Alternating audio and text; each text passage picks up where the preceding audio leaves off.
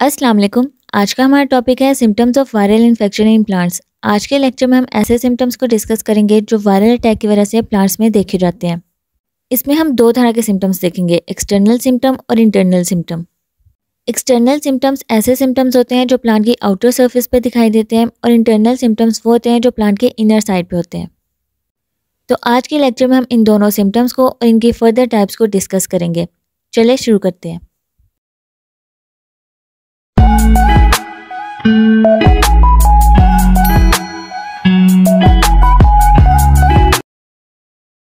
सबसे पहले हम प्लांट वायरस की डेफिनेशन देख लेते हैं। प्लांट वायरस एक माइक्रोस्कोपिक इन्फेक्शियस एजेंट्स होते हैं, जो मेनली प्लांट्स को इफ़ेक्ट करते हैं। इनके जो मेन टारगेट होता है, वो प्लांट्स होते हैं। इन वायरस के पास जेनेटिक मटेरियल प्रेजेंट होता है, वो आरएनए भी हो सकता है और डीएनए भी हो सकता है। ज़्यादातर आरएनए होता है और ये प्रोटीन कोर से सराउंडेड होते हैं। प्लांट वायरसेस प्लांट के नॉर्मल फ़ंक्शन को डिस्टर्ब करके उनमें डिफरेंट सिम्टम कॉज कर सकते हैं, जैसे कि लीव डिस्क्लेरेशन और स्टंटेड ग्रोथ वगैरह। और ये वायरसेस प्लांट्स में वेक्टर के थ्रू स्प्रेड होते हैं, जैसे कि इंसेक्ट्स निमाटोड्स और बहुत सी ह्यूमन एक्टिविटीज़ की वजह से भी। अब हम देखते हैं जब ये वायरसेस प्लांट्स को अफेक्ट करते हैं तो इससे प्लांट्स में कौन कौन से सिम्टम्स हो सकते हैं। तो इन सिम्टम्स को फर्दर दो कैटेगरीज में डिवाइड किया जाता है एक्सटर्नल सिम्टम और internal symptom external symptoms plant की आउटर सरफेस पर नज़र आते हैं और इंटरनल सिम्टम प्लांट्स की इनर साइड पे, जब प्लांट्स की फिजियोलॉजी या फिर उनकी फंक्शनिंग में कोई चेंजेस हो तो तब वहाँ पे इंटरनल सिम्टम्स का पता चलता है। पहले हम एक्सटर्नल सिम्टम्स देखते हैं। एक्सटर्नल सिम्टम्स को फर्दर दो टाइप्स में डिवाइड किया गया है प्राइमरी सिम्टम और systematic symptom primary symptoms initial symptoms होते हैं। इनिशियल मतलब कि स्टार्टिंग के जो सिम्टम्स होते हैं। तो इसमें जब वायरस प्लांट को अफेक्ट करते हैं, प्लांट के किसी भी पार्ट को, चाहे वो रूट है स्टेम है या लीफ है तो जिस पॉइंट पे वायरस अफेक्ट करते हैं फॉर एग्जांपल वायरस ने लीफ पे अफेक्ट किया है तो उस पॉइंट को स्पॉट ऑफ़ इनोकुलेशन कहते हैं। इनोकुलेशन मतलब कि इंजेक्ट करना। तो जब वायरस ने लीफ पे अपना इन्फेक्शन इंजेक्ट किया है तो स्टार्टिंग में उस एरिया पे जो इन्फेक्शन स्प्रेड हुआ है, उसे प्राइमरी सिम्टम कहते हैं। मतलब कि वायरस के इन्फेक्शन की वजह से उस एरिया से लीफ ब्राउन हो रहा है या लीफ की कर्लिंग हो रही है या क्लोरोसिस हो रही है, जो भी सिम्टम्स स्टार्टिंग में हो रहे हैं, वो प्राइमरी सिम्टम्स होते हैं। इन शॉर्ट अगर हम देखें प्राइमरी सिम्टम्स में वायरस जिस स्पॉट पे अपना इन्फेक्शन इंजेक्ट करता है, अगर उस इन्फेक्शन से जो सिम्टम्स कॉज हो रहे हैं, वो उसी एरिया में रहे तो उसे प्राइमरी सिम्टम कहा जाता है। और अगर ये इन्फेक्शन प्लांट के डिफरेंट ऑर्गन्स को अफेक्ट करे तो उसे जो सिम्टम्स कॉज होते हैं, उसे सिस्टमेटिक सिम्टम्स कहा जाता है। मतलब वायरस प्लांट के उस पार्ट से एंटर होकर प्लांट के डिफरेंट पार्ट्स को जब अफेक्ट करता है तो उसकी वजह से जो सिम्टम्स कॉज होते हैं, उसे सिस्टमेटिक सिम्टम्स कहा जाता है। अब हम सिस्टमेटिक सिम्टम्स के डिफरेंट टाइप को डिस्कस करते हैं। तो इसमें सबसे पहले हमारे पास है नेक्रोसिस नेक्रोसिस मतलब कि डेथ ऑफ़ टिश्यू इस टाइप का जो सिम्टम है, इसमें प्लांट का इन्फेक्टेड पार्ट ब्राउन कलर का हो जाता है और उनकी डेथ हो जाती है। जैसे कि इस डायग्राम में आप देख सकते हैं, ये लीफ का जो ब्राउन पार्ट है, यहाँ पे नेक्रोसिस हुई हुई है, जिसकी वजह से ये पार्ट ब्राउन कलर का हो गया।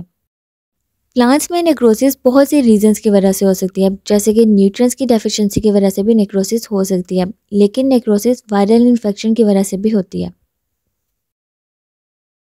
फिर इसके बाद क्लोरोसिस वायरल के इन्फेक्शन की वजह से प्लांट के डिफरेंट पार्ट पे क्लोरोफिल की डेफिशिएंसी हो जाती है, जिसकी वजह से लीफ के ऊपर येलो और ग्रीन कलर के पैचेस बन जाते हैं। जैसे कि इस डायग्राम में आप देख सकते हैं, यहाँ पे लीफ के ऊपर डिफरेंट येलो और ग्रीन कलर के पैचेस बने हुए हैं। और ये किस वजह से है? क्लोरोफिल की अनइवन डिस्ट्रीब्यूशन की वजह से, जो कि वायरल इन्फेक्शन की वजह से होती है। फिर इसके बाद येलोज येलो जो सिम्टम है, इसमें भी क्लोरोफिल की डेफिशिएंसी होती है, लेकिन इसमें पूरा लीफ येलो कलर का हो जाता है। येलोज और क्लोरोसिस में बहुत कम डिफरेंस है। क्लोरोसिस में क्या होता है, उसमें क्लोरोफिल की डेफिशिएंसी की वजह से लीफ के डिफरेंट पार्ट पे ग्रीन और येलो कलर के पैचेस बन जाते हैं, लेकिन येलोज में लीफ पूरा येलो हो जाता है। जैसे कि इस डायग्राम में आप देख सकते हैं, यहाँ पे जो लीफ है, ये पूरा येलो कलर का हो गया और इसके एग्ज़ाम्पल में हमारे पास राइस येलोज आ जाते हैं। फिर इसके बाद रिंग स्पॉटिंग रिंग स्पॉटिंग में क्या होता है? इसमें जो लीफ का इन्फेक्टेड पार्ट होता है, वहाँ पे क्लोरोसिस और नेक्रोसिस हो जाती है। जैसे कि आप यहाँ डायग्राम में देख सकते हैं, यहाँ पे लीफ के ऊपर ये जो सर्कुलर फॉर्म में येलो कलर है, यहाँ पे क्लोरोसिस हुई हुई है। क्लोरोफिल की अनइवन डिस्ट्रीब्यूशन की वजह से ये एरिया येलो कलर का हो गया। और ये जो ब्राउन कलर का एरिया यहाँ पे नेक्रोसिस हुई हुई है, जिसकी वजह से ये टिश्यू डेड हो गया और इसका कलर ब्राउन हो गया। तो ये भी एक सिम्टम है जो वायरल इन्फेक्शन की वजह से प्लांट्स में होता है। फिर इसके बाद डिस्ट्रोशन भी एक सिम्टम है। वायरल अटैक की वजह से प्लांट के ऊपर लीव के अरेंजमेंट की जो सिमिट्री है, उसमें भी चेंजेस देखी जाती हैं। वो भी अल्टर हो सकती है। जैसे कि लीफ के एजेस कर्ल हो सकते हैं लीफ पूरा का पूरा रोल हो सकता है या फिर लीफ की रीसेटिंग जैसे कि आप इस डायग्राम में देख सकते हैं, यहाँ पे वायरल अटैक की वजह से लीफ पूरे का पूरा रोल हो गया। या फिर यहाँ पे आप देख सकते हैं, यहाँ पे जो लीफ के एजेस है, वो कर्ल हो गए हैं। तो ये सिम्टम्स वायरल अटैक की वजह से प्लांट्स में देखे जाते हैं। फिर इसके बाद स्टंटेड ग्रोथ वायरल अटैक की वजह से प्लांट के डिफरेंट पार्ट्स जैसे कि लीफ फ्रूट्स पेट्योल इंटरनोड और स्टेम्स वगैरह, ये प्रॉपरली ग्रो नहीं कर पाते, जिसकी वजह से इनके साइज़ रिड्यूस हो जाते हैं। जैसे कि इस डायग्राम में आप देख सकते हैं, ये हमारे पास बनाना प्लांट है। बनाना प्लांट आपको पता है साइज़ में बहुत बड़ा होता है, लेकिन ये जो प्लांट है, ये छोटा है। वायरल अटैक की वजह से ये प्रॉपरली ग्रो नहीं कर पाया, जिसकी वजह से इसका साइज़ छोटा रह गया फिर इसके बाद एंटेशन भी एक सिम्टम है जो वायरल अटैक की वजह से होती है। इस सिम्टम में लीफ और स्टेम के ऊपर हेयर लाइक आउटग्रोथ हो जाती है। जैसे कि आप इस डायग्राम में देख सकते हैं, यहाँ पे लीफ के ऊपर ये जो हेयर लाइक आउटग्रोथ हुई हुई है, इसे एंटेशन कहते हैं और ये वायरल अटैक की वजह से प्लांट में देखी जाती है। फिर इसके बाद लास्ट सिम्टम हमारे पास है रूट सिम्टम ये भी वायरल अटैक की वजह से होती है। इससे रूट के ऊपर गॉल ट्यूमर्स की फॉर्मेशन हो जाती है या फिर रूट्स ड्राई हो जाते हैं। जैसे यहाँ पे इस डायग्राम में आप देख सकते हैं, ये यहाँ पे गॉल ट्यूमर्स की फॉर्मेशन हुई हुई है। तो इस सिम्टम में या तो रूट्स के ऊपर गॉल ट्यूमर्स की फॉर्मेशन देखी जाती है, या फिर रूट्स ड्राई हो जाते हैं। तो ये थे हमारे पास कुछ एक्सटर्नल सिम्टम्स जो वायरल अटैक की वजह से प्लांट्स में देखे जाते हैं। इसे दो कैटेगरीज में डिवाइड किया गया प्राइमरी सिम्टम और सिस्टमेटिक सिम्टम फिर इनके आगे से हमने फर्दर कुछ टाइप्स देखे, जैसे कि chlorosis necrosis yellow ring spotting enation stunted growth distortion और रूट सिम्टम्स अब नेक्स्ट हम इंटरनल सिम्टम्स को डिस्कस करते हैं. इंटरनल सिम्टम्स को भी फर्दर दो टाइप्स में कैटेगराइज किया गया है हिस्टोलॉजिकल और साइटोलॉजिकल हिस्टोलॉजिकल में टिश्यूज़ में जो चेंजेस आती हैं वायरल अटैक की वजह से उसे हम डिस्कस करेंगे और साइटोलॉजिकल में सेल टाइप में जो चेंजेस आती हैं, उसे हम देखेंगे. पहले हम हिस्टोलॉजिकल सिम्टम देखते हैं। हिस्टोलॉजिकल सिम्टम में क्या होता है? इसमें वायरल अटैक की वजह से प्लांट के टिश्यू लेवल में चेंजेस देखी जाती हैं। हिस्टोलॉजिकल सिम्टम में आगे तीन कंडीशंस देखी जाती हैं हाइपोप्लेसिया हाइपरप्लेसिया और नेक्रोसिस हाइपोप्लेसिया में क्या होता है? इस कंडीशन में प्लांट के टिश्यूज़ और ऑर्गन प्रॉपरली ग्रो नहीं कर पाते, जिसकी वजह से टिश्यूज़ और ऑर्गन में अंडर डेवलपमेंट और इनकम्प्लीट डेवलपमेंट देखी जाती है। तो इस कंडीशन में क्या होता है? इसमें जो इन्फेक्टेड प्लांट होते हैं, उनके टिश्यूज़ प्रॉपरली ग्रो नहीं कर पाते, जिसकी वजह से उनका साइज़ छोटा रह जाता है। इसके एग्ज़ाम्पल में हम देखते हैं मस्टर्ड प्लांट में प्रोनोस्पोरा ब्रासिका जो कि एक वायरल डिज़ीज़ है, उनके अटैक की वजह से मस्टर्ड प्लांट के फ्लोरल बर्ड सप्रेस रह जाते हैं। फिर इसके बाद हाइपरप्लेसिया हाइपोप्लेसिया से ऑपोजिट होता है। हाइपोप्लेसिया में हमने क्या देखा था कि उसमें टिश्यूज़ प्रॉपरली ग्रो नहीं कर पाते, जिसकी वजह से उनका साइज़ छोटा रह जाता है।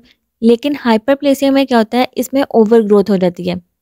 इसमें टिश्यूज़ के जो सेल्स है, वो ज़्यादा ग्रो कर जाते हैं, जिसकी वजह से लीफ फ्रूट्स का साइज़ ज़्यादा हो जाता है। नॉर्मल जो ग्रोथ होती है, उससे ज़्यादा उनकी ग्रोथ हो जाती है। तो इस कंडीशन में वायरल अटैक की वजह से सेल्स की ओवर प्रोडक्शन हो जाती है, जिसकी वजह से ऑर्गन्स की ग्रोथ नॉर्मल से ज़्यादा हो जाती है।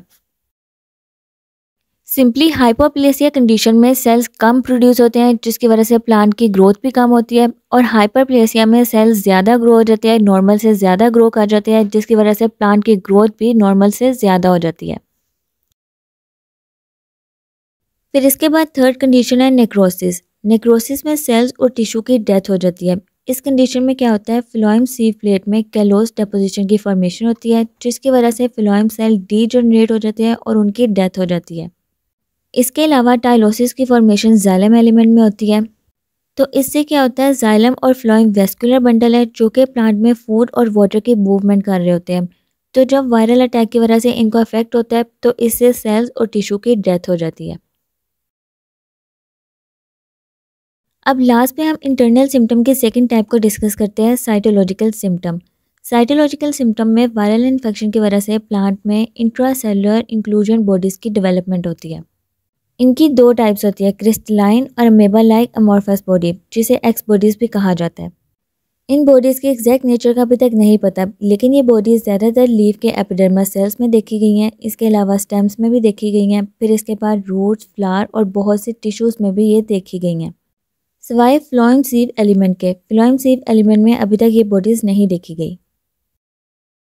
इसके अलावा ये इंट्रासेलर इंक्लूजन बॉडीज़ ऐसे प्लांट्स में देखे गए हैं जो कि टोबैको मोजाइक वायरस है, या टोबैको रिंग स्पॉर से या फिर टर्निप येलो मोजाइक से या इसके अलावा पोटैटो वायरस जितने भी वायरल इन्फेक्शन है जो कि प्लांट को अफेक्ट करते हैं, उनमें ये बॉडीज ज़्यादातर देखी जाती हैं।